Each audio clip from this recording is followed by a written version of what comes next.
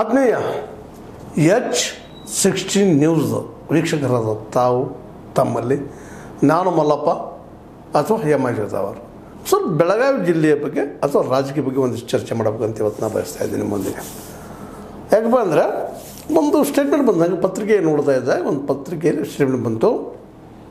ನಮ್ಮ ಲಕ್ಷ್ಮೀಬಾಯಿ ಹೆಬ್ಬಾಳ್ಕರ್. ಈಗ ಗೊತ್ತದ ಸಚಿವೆ ಇದ್ದಾರೆ? ಬೆಳಗಾವಿಯಲ್ಲಿ ಬಲಿಷ್ಠವಾದಂಥ ಒಬ್ಬ ವ್ಯಕ್ತಿತ್ವವನ್ನು ಬೆಳೆಸ್ಕೊಳ್ತಾ ಇದ್ದಾರೆ? ಜೊತೆಗೆ ಒಂದು ಸ್ಟೇಟ್ಮೆಂಟ್ ಕೊಟ್ಟಿದ್ದಾರೆ ಅವರು. ಬಾರಾಮತಿ ಮಾದರಿಯಲ್ಲಿ ಅಭಿವೃದ್ಧಿ. ಬಾರಾಮತಿ ಯಾವುದಿದು ಏನು? ನಿಮ್ಗೆ ಗೊತ್ತಿರಬೇಕು. ಬಾರಾಮತಿ ಇದು ನಮ್ಮ ಶರದ್ ಪವಾರ್ ಕ್ಷೇತ್ರ. ಅಲ್ಲಿ ಕ್ಷೇತ್ರದಲ್ಲಿ ನೀವೆಲ್ಲೂ ಹೋದರೂ ಪವಾರ್, ಅಜಿತ್ ಪವಾರ್ ಇವತ್ತು ಬಂದಿರಬಹುದು ಅಥವಾ ನಮ್ಮ ಶರದ್ ಪವಾರ್ ಬಂದಿರಬಹುದು ಅವ್ರು ತಮ್ಮ ಮನೆತನದಲ್ಲಿ ಹಿಡಿತದ ಮೇಲೆ ಮಾಡ್ಕೊಂಡಿದ್ದು ಬಿಟ್ಟಿದ್ದಾರೆ. ಬಾರಾಮತಿ ಅಂದರೆ ಏನಪ್ಪ? ಶರದ್ ಪವಾರ್ ಒಂದು ಕುಟುಂಬ ಇದ್ದಂಗೆ ಮಾಡ್ಕೊಡಿದ್ರೆ ಈಗ ಹೆಂಗೆ ನಮ್ಮ ಗೋಕಾಕ್ ತಾಲೂಕು ಆಗಿರ್ಬೋದು, ಇವತ್ತು ನಿಧಾನಕ್ಕೆ ಬೆಳಗಾವಿ ಜಿಲ್ಲೆ ಜಾರಕಿಹೊಳಿ ಸಹೋದರರ ಹೆಂಗೆ ಕುಟುಂಬ ಆಗ್ಲಿಕ್ಕತ್ತದಲ್ಲ ಆ ರೀತಿಯಾಗಿ ಮಾಡಿದಂಥದ್ದು. ಆ ಒಂದು ಮಾದರಿಯಲ್ಲೇ ಇವತ್ತು, ಈ ನಮ್ಮ ಲಕ್ಷ್ಮೀಬಾಯಿ ಹೆಬ್ಬಾಳ್ಕರ್ ಅವರು ಮಾಡ್ತೀನಿ ನಾನು ಇಟ್ಟನಲ್ಲ ಅಲ್ಲಿ ಇನ್ನೊಬ್ಬರು ಯಾರೂ ಬೆಳೆಗಳು ಹೋಗಿಲ್ಲ, ತಾವು ಇರಬೇಕು. ತಾವು ತಮ್ಮ ಸಂಬಂಧಿಕರು ಮಾತ್ರ ಆಡಬೇಕು ಅದನ್ನು. ಹಂಗೆ ನಾನು ಮಾಡ್ತಾ ಇದ್ದೀನಿ, ಅಂಥ ಅಭಿವೃದ್ಧಿಯನ್ನು ನಾವು, ನಾನು ಈ ಒಂದು ಗ್ರಾಮೀಣ ಬೆಳಗಾವಿಯಲ್ಲಿ ಮಾಡ್ತೀನಿ ಅಂತ ಅಭಿವೃದ್ಧಿ ಕಾರ್ಯಕ್ರಮ ಏನು ಹಮ್ಮಿಕೊಂಡಿದ್ದಾರೆ. ಅವ್ರ ಹಿಂಬಾಲಕನ್ನು ತೆಗೆದುಕೊಂಡು ಏನು ಒಂದು, ಏನಪ್ಪ, ಈ ಚರಂಡಿ ವ್ಯವಸ್ಥೆ ಆಗಿರ್ಬೋದು ರೋಡ್ ವ್ಯವಸ್ಥೆ ಆಗಿರ್ಬೋದು, ಮತ್ತೆ ಅಭಿವೃದ್ಧಿ ಆಗಿರ್ಬೋದು ಸ್ಕೂಲ್ ಕಾಲೇಜ್ಗಳ ಬಗ್ಗೆ ಆಗಿರ್ಬೋದು, ಇದ್ರ ಬಗ್ಗೆ ಒಂದು ವಿಶೇಷ ಕಾಳಜಿ ತೊಗೊಂಡು ನಾನು ಇದನ್ನು ನನ್ನ ಗ್ರಾಮೀಣ ವಲಯವನ್ನು, ಬೆಳಗಾವಿಯ ಗ್ರಾಮೀಣವನ್ನು ಬಾರಾಮತಿ ಮಾಡ್ತೀನಿ ಅಂತೇಳಿ. ಬಾರಾಮತಿ ಎಲ್ಲಿ ಹೆಂಗೆ? ಅಲ್ಲಿ ಅವರು ಅಭಿವೃದ್ಧಿ ಮಾಡಿದ್ದಾರೆ ಹಂಗೆ ನಾನು ಅಭಿವೃದ್ಧಿ ಮಾಡ್ತೀನಿ ಅಂತೇಳಿ ಡೈರೆಕ್ಟಾಗಿ ಇವರೆಲ್ಲ ನಮ್ಮ ಜಾರಿಗೆ ಸಹೋದರರಿಗೆ ಚಾಲೆಂಜ್ ಮಾಡ್ತಾ ಇದ್ದಾರೆ. ಯಾರಿಗೆ ಗೊತ್ತು? ಯಾಕಂದರೆ ಆಲ್ರೆಡಿ ಈಗಾಗಲೇ ಬೆಳಗಾವಿ ಜಿಲ್ಲೆಯಲ್ಲಿ ನಾವು ನೋಡಿದ್ದೀವಿ ಅನೇಕ ನಾಯಕರನ್ನು. ವಿ ಎಲ್ ಅಂತ ಹಂಗೆ ಹೇಳ್ಕೊಳ್ಳುವಂಥ ಜಿಲ್ಲಾ ಮಟ್ಟದಲ್ಲಿ ಅಷ್ಟು ಕಬಂಧ ಭಾವವನ್ನು ಅದು ಗಟ್ಟಿಮುಟ್ಟಾಗಿ ಹಿಡಿ ಜಿಲ್ಲೆಯನ್ನು ಹಿಡಿದ ಹಿಡಿದುಕೊಂಡಂಥವ್ರು ಹಂಗೆ ಕಂಡು ಬಂದಿಲ್ಲ. ನನಗೆ ಒಂದಿಷ್ಟು ಉಮೇಶ್ ಕತ್ತಿ ಅವ್ರು ಬಂದರು. ಅವರು ಒಂದಿಷ್ಟು ಸಮಯ ಏನು ಹೌದಪ್ಪ ಇವ್ರು ಹಿಡ್ಕೊಂಡಿದ್ದಾರೆ ಅನ್ನೋದ್ರೊಳಗೆ ಜಾರಕಿಹೊಳಿ ಕುಟುಂಬ ನಿಧಾನಕ್ಕೆ ಬೆಳ್ತಾ ಬೆಳ್ತಾ ಒಂದು ಇವತ್ತು ಮೊನ್ನೆ ಡಿ ಸಿ ಸಿ ಬ್ಯಾಂಕಿಂದ ರಿಸಲ್ಟ್ ನೋಡಿದ್ರಿ ನೀವು. ಅವ್ರು ಹೇಗೆ ಒಂದು ವರ್ಷದ ಸಮಯಕ್ಕೆ ತಮಗೆ ಬೇಕಾದಂಥ ವ್ಯಕ್ತಿಯನ್ನು ಅಧ್ಯಕ್ಷನ ಮಾಡಿಕೊಂಡ್ರು ಅನ್ನುವಂಥದ್ದು.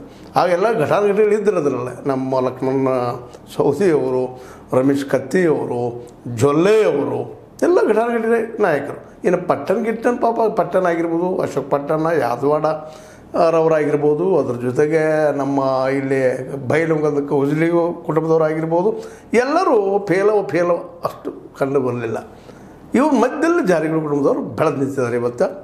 ಅದು ನಾವು ಸಂತೋಷ ಪಡ್ಬೇಕು ಯಾಕಂದ್ರೆ ಗೋಕಾಕದವ್ರು ನಾವೆಲ್ಲರೂ ಅದು ಸಂತೋಷ ಪಡೋಣ ಆದರೆ ಅಂಥದ ಒಂದು ಮನಸ್ಥಿತಿ ಇವತ್ತು ನಾವು ಲಕ್ಷ್ಮೀಬಾಯಿ ಹೆಬ್ಬಾಳ್ಕರ್ ಅವ್ರು ಮಾಡ್ತಾ ಇದ್ದಾರೆ ಅಂದ್ರೆ ತಮ್ಮ ಕ್ಷೇತ್ರದಲ್ಲಿ ಗಟ್ಟಿ ಮಾಡಿಕೊಳ್ಳುವಂಥ ಪ್ರಯತ್ನ. ಈಗ ನೋಡ್ರಿ, ಜಾರಕಿಹೊಳಿ ಸಹೋದರ ಸಹಿತ ಮೊದಲು ತಮ್ಮ ಕ್ಷೇತ್ರ ಗೋಕಾಕನ ಗಟ್ಟಿ ಮಾಡ್ಕೊಂಡ್ರು ಇಲ್ಲಿ ಇನ್ನೊಬ್ರು ಯಾರೂ ಬೆಳೆದಂಗೆ ಇವತ್ತಿನ ನಾವು ಹೇಳ್ಬೋದು, ಅಶೋಕ್ ಪೂಜಾರು ವಿರೋಧಿಗಳಿದ್ದಾರಪ್ಪ ಅವರು ವಿರೋಧ ಮಾಡ್ತಾ ಇರ್ತಾರೆ. ಜೊತೆಗೆ ನಮ್ಮ ಇತ್ತೀಚೆಗೆ ಕಡಾಡಿ, ಡಾಕ್ಟರ್ ಕಡಾಡಿ ಅವರು ಅವರು ವಿರೋಧ ಮಾಡ್ತಾ ಇದ್ದಾರೆ. ಅವರು ವಿರೋಧಿಗಳಿದ್ದಾರೆ ಇಲ್ಲಿ ಆದರೆ ಅವರನ್ನು ಸೋಲಿಸೋ ಮಸ್ತಿಗೆ ಇಲ್ಲಿ ಬೆಳೆದು ನಿಂತಿಲ್ಲ ಅವರು ಅನ್ನೋದು ನಾವು ಇಲ್ಲಿವರೆಗೆ ಒಂದು ಇತಿಹಾಸ ನೋಡಿದಾಗ ಸ್ಪಷ್ಟ ಆಗ್ತಾ ಆಗ್ತಾ ಬರ್ತದೆ. ವಿಶೇಷವಾಗಿ ಅಶೋಕ್ ಪೂಜಾರಿ ಅವರಿಂದ ಅವ್ರ ತಂದೆಯವರ ಒಂದು ನಿಂಗಯ್ಯ ಸಂಗಯ್ಯ ಪೂಜಾರಿ ಅವರ ಪ್ರಭಾವ ಇತ್ತು. ಆದರೆ ಅವರು ಮುನ್ಸಿಪಾಲ್ಟಿಗೆ ಮಾತ್ರ ಸೀಮಿತ ಆದರು ಅದೇ ಕಾಲಕ್ಕೆ ಆ, ನಮ್ಮ ಅರಮನೆ ಕ್ಷೇತ್ರಕ್ಕೆ ನಿಂತ್ಕೊಂಡು ವಿ ಎಸ್ ಅವರು ಸೋದರನ್ನು ನಾವು ನೋಡಿದ್ವಿ. ವಿ ಎಸ್ ಕೌಜಲಿ ಅವರಿದ್ದರು ಅವರು ಆ ಭಾಗಕ್ಕಷ್ಟ ಏನಪ್ಪ ಅಂದ್ರೆ ಒಂದು ತಮ್ಮ ಹಿಡಿತವನ್ನು ಸಾಧಿಸಿದ್ರು. ಇಡೀ ಜಿಲ್ಲೆ ಮೇಲಲ್ಲ. ಅವರು ಸಭಾಪತಿ ಆಗಿದ್ರು ಎಲ್ಲ ಸತ್ಯ, ಸುಳ್ಳೇನಲ್ಲ. ಆದರೆ ಇಡೀ ಜಿಲ್ಲೆ ಮೇಲೆ ಇವತ್ತೇನು ಒಂದು ಡಿ ಸಿ ಸಿ ಬ್ಯಾಂಕ್, ಪ್ರಬುದ್ಧವಾದ ಬ್ಯಾಂಕ್, ಅದು ತಮ್ಮ ಕೈಗಳು ತೋಳ್ತಾರಪ್ಪ ನಮ್ಮ ಸತೀಶ್ ಅವರು, ಜೊತೆಗೆ ರಮೇಶ್ ಅವರು, ಬಾಲಚಂದ್ರ ಅವರು, ಒಂದು ಸಣ್ಣ ವಿಷಯ ಅಲ್ಲ ಅವ್ರು ಅವ್ರ ಸಾಧನೆಗೆ ನಾವು ಹೆಡ್ಸಪ್ ಹೇಳಲೇಬೇಕು. ಯಾಕಂತಂದ್ರೆ ಒಳ್ಳೆಯದನ್ನು ಮಾಡಿದಾಗ ಸಾಧಿಸಿದಾಗ ನಾವು ಹೇಳಬೇಕಾಗ್ತದೆ. ಯಾಕಂದ್ರೆ ಲಿಂಗಾಯತ ಡಾಮಿನೆನ್ಸಿ ಭಾಳದ ಬೆಳಗಾವಿ ಜಿಲ್ಲೆಯಲ್ಲಿ. ಅಂಥದ್ದಿದ್ದಾಗ ಇವರು ತಮ್ಮ ಚಾಕ್, ಚಕ್ಯತೆಯಿಂದ, ಬುದ್ಧಿಮತ್ತೆಯಿಂದ ಇವತ್ತು ಕೋರೆ ಅಂತವ್ರು ಇದ್ದಾರೆ ಲಿಂಗಾಯತರಲ್ಲಿ ನಮ್ಮ ನಮ್ಮ ಪಂಚಮಸಾಲಿಯಿಂದ ಇವತ್ತು ಲಕ್ಷ್ಮೀಬಾಯಿ ಹೆಬ್ಬಾಳ್ಕವ್ರವ್ರು ಇದ್ದಾರೆ ಅದೇ ಕಾಲಕ್ಕೆ ನಮ್ಮ ಲಕ್ಷ್ಮಣ ಸೌದಿ ಅವರು ಇದ್ದಾರೆ ಇನ್ನೂ ಅನೇಕರು ಬರ್ತಾರೆ ಮುಂದೆ ನಮ್ಮ ಕತ್ತಿ ಅವ್ರ ಕುಟುಂಬ ಲಿಂಗಾಯಿತು, ಜೊಲ್ಲೆಯವರು ಸಹಿತ ಅದೇ ರೀತಿ ಅದ. ಜೊಲ್ಲೆಯವ್ರ ಮನೆಯಲ್ಲಿ ಇಬ್ಬರು ಗಂಡ ಹೆಂಡತಿ, ಇಬ್ಬರು ಶಾಸಕರು ಮತ್ತು ಹಿಂದೆ ಮಾಜಿ ಎಂ ಪಿ ಆಗಿದ್ದಾರೆ. ಇವೆಲ್ಲ ಇದ್ದಾಗ್ಯೂ ಇವ್ರನ್ನೆಲ್ಲ ಬದಿಗೆ ಸರಿಸಿ ಒಂದು ಅಧಿಕಾರಿ ಹಿಡಿತಾರೆ, ಡಿ ಸಿ ಸಿ ಬ್ಯಾಂಕಿನ ಕಂಟ್ರೋಲ್ ತೊಗೊಳ್ತಾರಪ್ಪ, ಅದು ಸಣ್ಣ ಸಾಧನೆ ಅಲ್ಲ, ಅದು ಮೆಚ್ಚಬೇಕು ಈ ಒಂದು ನೆಲೆಯಲ್ಲಿ ನಾವು ವಿಚಾರ ಮಾಡಿದಾಗ ಇವತ್ತು ಲಕ್ಷ್ಮಿ ಹೆಬ್ಬಾಳ್ಕರ ಬಾಯಿ ಅವರು ಈ ಒಂದು ಗುರಿ ಇಟ್ಟು ಮಾತಾಡಿದ್ದಾರೆ ಇದನ್ನು ಬಾರಾಮತಿ ಮಾಡ್ತೀನಿ ಅಂದ್ರೆ ಈಗ ಹೆಂಗೆ ಗೋಕಾಕ್ ಜಾರಕಿಹೊಳಿ ಮಾಡ್ಕೊಂಡಿದ್ದಾರೋ, ಆಗ ನಮ್ಮ ದಕ್ಷ ಇದು ಪ ಗ್ರಾಮೀಣ ಬೆಳಗಾವಿಯನ್ನು ತಮ್ಮ ಹಿಡಿತಕ್ಕೆ ತೆಗೆದುಕೊಳ್ತೀನಿ ನಾನು ಒಳ್ಳೆ ಕೆಲಸ ಮಾಡ್ತೀನಿ. ಅಡ್ಡಿಲ್ಲ ಒಳ್ಳೆ ಕೆಲಸ ಮಾಡಿ, ಅಭಿವೃದ್ಧಿ ಮಾಡಿ, ಮತ್ತೇನೋ ಮಾಡಿ. ಹಿಡಿತಕ್ಕೆ ತೆಗೆದುಕೊಂಡು ಇದು ತಪ್ಪೇನಿಲ್ಲ. ಆದ್ರೆ ಅಲ್ಲಿ ವಿರೋಧ ಪಕ್ಷಗಳು ಇರಲೇಬೇಕು ಅನ್ನೋದು ಭಾಳ ನಾವು ಗಮನಿಸ್ಬೇಕಾದ ವಿಷಯ ಆಗ್ಯದ. ಯಾಕಂದ್ರೆ ಇವತ್ತು ಏನಾಗ್ಯದ? ನೀವೊಂದು ಕ್ಷೇತ್ರ ತೊಗೊಳಪ್ಪ ನೀವೊಂದು ಕ್ಷೇತ್ರ ತಗೋ ನೀವೊಂದು ತಗೋ ಅಂಥೇಳಿ ಅವ್ರವ್ರ ಕ್ಷೇತ್ರಗಳನ್ನು ಕೊಟ್ಟು ಅವರಷ್ಟೇ ಅಲ್ಲಿ ಅಳಗೊಂದು ಹೋಗುವಂಥದ್ದು ಉಳಿದೆಲ್ಲ. ಇಲ್ಲಿ ವಿರೋಧ ಪಕ್ಷ ಇಲ್ದಂಗೆ ಮಾಡೋದು. ಮೊನ್ನೆ ನೋಡಿ ಚಿಕ್ಕೋಡಿ ಒಳಗೆ ಎಲ್ಲರೂ ಕೂಳ್ಕೊಂಡು ಏನು ಮಾಡಿರಪ್ಪ ಅಂತಂದ್ರೆ ಚಿಕ್ಕೋಡಿ ಒಳಗೆ ಅಲ್ಲಿ ವಿರೋಧ ಪಕ್ಷ ಇಲ್ದಂಗೆ ಮಾಡಿಬಿಟ್ರು. ಎಲ್ಲರೂ ಆಡಳಿತರು ಕೂಡ ತಮ್ಗೆ ಹೆಂಗೆ ಬೇಕು ವ್ಯವಸ್ಥೆ ಮಾಡ್ಕೊಂಡು ಹೋಗುವಂಥ ತಮ್ಗೆ ಲಾಭದ ದೃಷ್ಟಿ ಇಟ್ಕೊಂಡು ಹಂಗೆ ಡಿ ಸಿ ಸಿ ಬ್ಯಾಂಕ್ ಮಣ್ಣು ಆಯ್ತು ಒಂದು ವರ್ಷದ ಈ ರೀತಿ ಆಗುವ ಸಂದರ್ಭದಲ್ಲೇ ಬಾರಾಮತಿ ಮಾಡ್ತೀನಿ ಅನ್ನೋದು ಅಭಿವೃದ್ಧಿ ದೃಷ್ಟಿಯಿಂದ ಒಳ್ಳೆಯದು ಹೌದು, ಶರದ್ ಪವಾರ್ ಅವರು ಬಾರಾಮತಿಯನ್ನು ಅವರ ಕುಟುಂಬದಷ್ಟಲ್ಲ, ಒಳ್ಳೆ ಅಭಿವೃದ್ಧಿನೂ ಮಾಡಿದ್ದಾರೆ ಅಂತೇಳಿ. ಅಲ್ಲಿ ಹೋಗಿ ಬಂದಂಥ ಅನೇಕ ವರದಿಗಳು ನಾವು ನೋಡಿದ್ದೀವಿ. ಅದು ಸತ್ಯನೂ ಅದ ಈ ಎಲ್ಲ ನೀರಲ್ಲೇ ನಮ್ಮ ಲಕ್ಷ್ಮೀಬಾಯಿ ಹೆಬ್ಬಾಳ್ಕರ್ ಅವರು ಇವತ್ತು ನಿಧಾನಕ್ಕೆ ಬೆಳಗಾವಿ ಜಿಲ್ಲೆಯಲ್ಲಿ ವಿರೋಧ ಪಕ್ಷದ ಹಿಡಿತವನ್ನು ತನಕ ತೆಗೆದುಕೊಳ್ಳುವಂಥ ಪ್ರಯತ್ನ ಮಾಡ್ತಾ ಇದ್ದಾರೆ. ಜಾರಕಿಹೊಳಿ ವಿರೋಧವಾಗಿ ಒಂದು ಸಂಘಟನೆ ಮಾಡಲಿಕ್ಕೆ ಪ್ರಯತ್ನ ಮಾಡ್ತಾ ಇದ್ದಾರೆ. ಅನ್ನೋದು ಒಂದು ಅಲ್ಲಲ್ಲೇ ಪ್ರಶ್ನೆಗಳು ಕೇಳಿ ಬರ್ತಾ ಇದ್ದಾವೆ ಮೂಡಿ ಬರ್ತಾ ಇದ್ದಾವೆ ಆಗ್ತಾರಲ್ಲ ಮಾತು ಬೇರೆ. ಯಾಕಂದ್ರೆ ಭವಿಷ್ಯದಲ್ಲೇ ಇವ್ರು ದುಡಿಯೋ ಹಾರ್ಡ್ ವರ್ಕ ಅಲ್ಲ. ಇವತ್ತು ನೋಡಿ ಜಾರಕಿಹೊಳಿ ಅವರು ಈ ಹಂತಕ್ಕೆ ಬರೋದಕ್ಕೆ ಕೇವಲ ದುಡ್ಡು ಒಂದೇ ಅಲ್ಲ. ನಾವು ಅಂತೀವಿ, ಏ ಧನ ಬಲ ಅದ ಭುಜ ಬಲ ಅದ ಆ ಬಲ ಅದ ನಮ್ಮಲ್ಲಿ ಎಷ್ಟು ಜನ ಇಲ್ಲ ಬುದ್ಧಿವಂತ ಇದ್ದಂಥವ್ರು, ಅದು ಯಾರು ಸಾಹಸ ಮಾಡಿದ್ದಾರೆ ಅದು ಇಡೀ ಜಿಲ್ಲೆಯನ್ನು ತುಂಬಿಕೊಂಡು ತೆಗೆದುಕೊಳ್ಳೆ ಬುದ್ಧಿಮತ್ತನೂ ಬೇಕು ಹಣಬಲವೂ ಬೇಕು.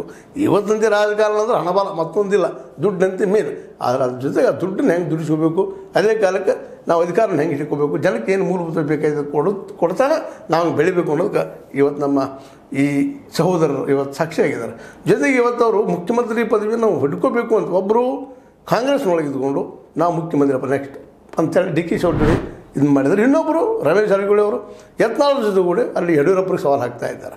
ಅಂದರೆ ಎರಡೂ ಪಕ್ಷ ತಮ್ಮ ಹಿಡಿತವನ್ನು ಸಾಧಿಸ್ಕೊಳ್ತಾ ಇದ್ದಾರೆ. ಇಂಥ ಹಿಡಿತ ಸಂದರ್ಭದಲ್ಲಿ ಲಕ್ಷ್ಮೀಬಾಯಿ ಹೆಬ್ಬಾಳ್ಕರ್ ಅವರು ಒಂದೇನು ಹೆಜ್ಜೆ ಲಕ್ಷ್ಮಣ ಕಾಣ್ತಾ ಇದ್ದಾವೆ ಇದೇ ಕಾಲಕ್ಕೆ ಲಕ್ಷ್ಮಣ ಸೌದಿಯವರಲ್ಲೂ ಅದ. ಯಾಕೋ ಏನು ಅಷ್ಟು ಈ ಲಕ್ಷ್ಮೀಬಾಯಿ ಕಳುತ್ತಿರುವಂಥ ಕಾಣುತ್ತಿರುವಂಥ ಒಂದು ಏನಂತೀರಿ ತೀವ್ರತೆ ಆಗಿರ್ಬೋದು ಅಥವಾ ಒಂದು ಹೋರಾಟದ ನೇ, ನೇಚರ್ ಆಗಿರ್ಬೋದು, ಯಾಕೋ ಇತ್ತೀಚೆಗೆ ಕಾಣ್ತಾ ಇಲ್ಲ ಅನ್ನಿಸ್ತದೆ. ಯಾಕಂದರೆ ಅವ್ರು ಬೆಳೆದು ಬಂದ ರೀತಿ ರೀತಿ ನೋಡಿದಾಗ ಅವರಲ್ಲೂ ಪ್ರಬಲ ನಾಯಕ ಇದ್ದಾರೆ ಒಳಗೆ. ಅಥಣಿಯಲ್ಲೇ ತಮ್ಮ ಅಸ್ತಿತ್ವ ಉಳಿಸ್ಕೊಂಡ್ರು.